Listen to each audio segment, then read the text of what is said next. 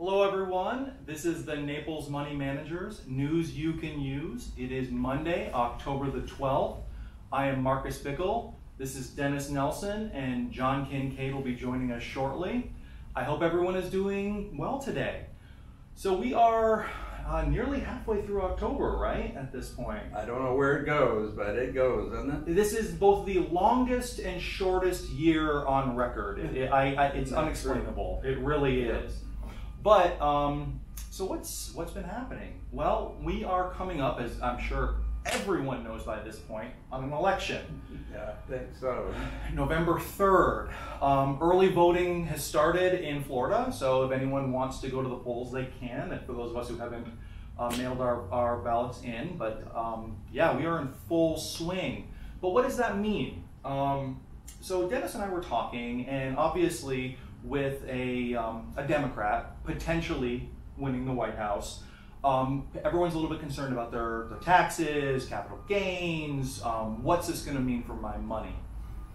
Um, so what we're seeing is with a lot of the more affluent out there, are they are putting their money into into a trust so that it that will benefit their children. Now, if um, a President Trump wins re-election, they will take that money out of the trust prior to being locked up. If Biden wins the presidency, they pay the inheritance tax, which is probably going to be less than anything that would go on um, uh, if Biden were to win the presidency. So people are definitely beginning to look at what might be out there for, um, um, you know, if we do see a change in the guard. Um, but uh, There are some strategies for the ultra ultra wealthy. for the ultra wealthy. and and we always assume that they would probably figure a way how to pay taxes.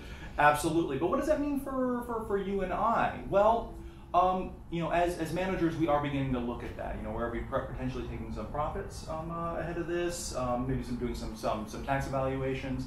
But uh, it might be a good time to look at those things. Talk to your talk to your CPA, um, talk to your accountant, things like that. And I will turn it over to Dennis Nelson. What you got for us, Dennis? Oh, well, uh, you may not have realized by now, but if you've really been listening, you do realize that I really love to talk sectors, sectors of the market. To me, that really kind of tells you what's going on, uh, not just in the market, but in the economy. Uh, last week uh, was a very good week in the market. Uh, Standard & Poor was up three and a half percent, uh, maybe a little better. Um, the uh, but but interesting how that fell. Top, I bet you'd never guess what the top sector was. Energy, oil stocks, natural gas stocks. Which, for those who don't know, it has not been a good year for those stocks at all. It has not been a good year, uh, and maybe this is starting to show that uh, su- supply uh, and demand are coming a little bit more in balance.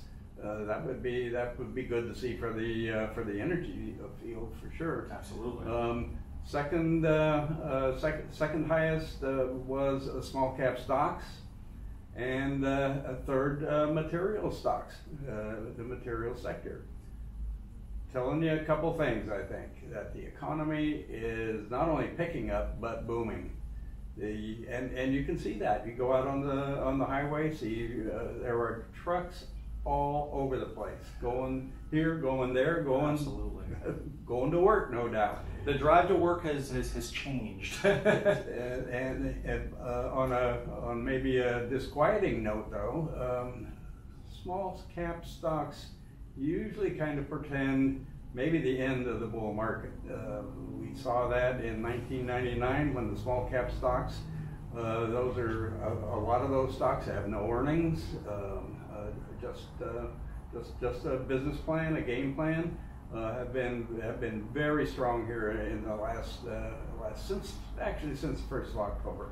so you're saying the market might be a little speculative right now? Very very much speculative. We look at the, that when we're looking at options. We're seeing the premiums on the options uh, skyrocket. Yeah, they're very much expanded. So uh, uh, there again, uh, it, uh, speculators tend to invest more in options than uh, um, than in the, the more expensive stocks. And more and more every year too. Options are becoming very very popular um, as a way to speculate. Uh, they are, and uh, and options are, are. There's a lot of good strategies with options, and of course, uh, John might talk about that here uh, right now, and I'll turn that over to John. Well, thank you, Dennis. And this is John Kincaid. All right, here you go. All right, well, it's good to be here. Um, a lot of my thought comes from the conversations that I have with people uh, that I come in contact with who have some interest in our portfolio. A lot of people want to know what we do, um, and they always want to know why are you different?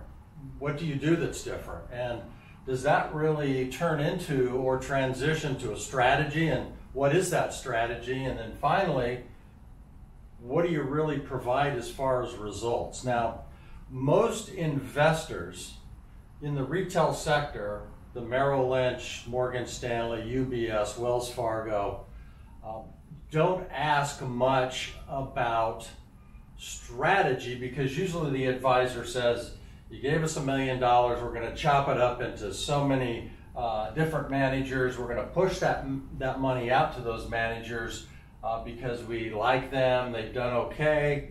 Uh, but strategy isn't the, the real topic of the discussion. Sure. Um, and so I try to lead with that once when I talk to people in the public. I try to talk about the strategy. Well, you even say that you know diversification isn't isn't necessarily a strategy. Well, it's not. It's not. It's not. For instance, uh, I saw a portfolio that was a fellow who had spent a lot of time uh, in, in, a healthcare company, Mm. and he had acquired a lot of the stock, the company stock, and then he had made some diversification through other stocks but uh, but he had a big concentration. But he did have a concentration, and he did diversify, but that didn't give him the results he was looking for. There was no strategy, no true strategy. So the point today is, is I went back and I looked at the last 20 years of our enhanced dividend covered call writing portfolio, and for the last 20 years, I put all the down years up here. Okay, I put the return of the Dow in those down years and then I put our return in this covered call writing. So there can be strategy by diversification, but then that becomes real individual to the person that's advising. Sure. Because they may they may like energy Mhm. over technology because of X, Y, or Z. So the strategy really has to come down to quantified mechanics or something mathematical that drives or uh, is uh, Takes the emotion out. takes the emotion out, perfect, and and provides results because of the structure, Mhm. not because of the opinion. Sure. Okay, sure. that's okay. important. So if we go back to 2001, I hope y'all remember those years. I certainly do. The Dow was down 7.1 percent. We had just come off a mega decade of of, of run with technology. Everybody owned AOL. I owned the Munder Net Net Fund, which is no longer around. But they were down seven. The, our portfolio was down 1.4%. So you can see this structure, this covered call writing structure, what it literally produces in quantified results. Mhm. Not always because of stock selection. That's the important point. Uh, you can you can pick a lot of stocks, but that's secondary in our in our strategy. because we're able to quantify. Exactly. So as we as we take the parameters in this strategy, we're able to plug in uh, numbers and say, okay, that that qualifies for the portfolio or it does not, regardless of the underlying common stock that we're buying. So 2002, the Dow's down almost 17. Uh, we're down uh, a little over two percent. 2005, the Dow again down a percent approximately. Uh, I- I wasn't here then. I'd like to know how we got a 10% return, but that's uh, that's uh, part of our metrics here. And then, of course, we all remember 2008. Uh, the Dow was off 34. The, the S&P was down more, almost 40. And again, the structure and the strategy provides this at least a 50% downside protection uh, because of its characteristics. We move on to 15. The Dow was off 2.2, and we were about even. Uh, in 2018, a couple of years ago, the Dow's off five. We're down uh, four and some change.